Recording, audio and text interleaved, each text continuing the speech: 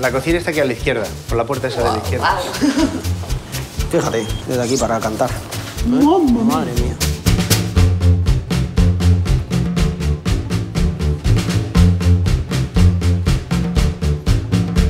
Yo lo comparo con mi cocina y, y a mí me sobra la mitad de las sartenes, de los cazos.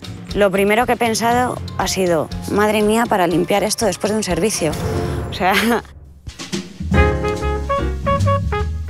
Los rivales de Raúl y Álvaro están claramente impresionados, tanto por el espacio como por la cocina de El Corral de los Vacos.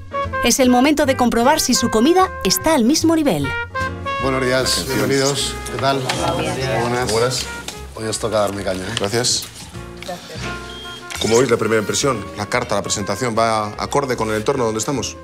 Es muy original, la presentación es muy original. Al lío, a comer. ¿Qué os apetece? ¿Qué habéis visto?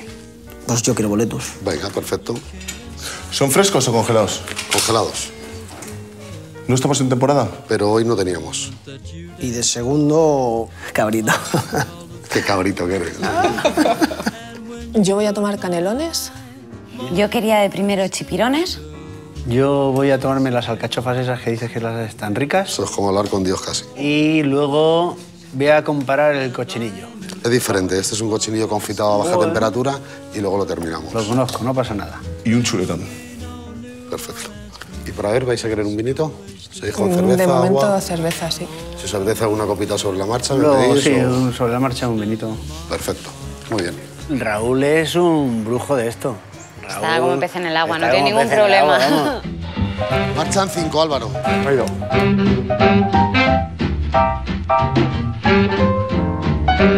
Müzik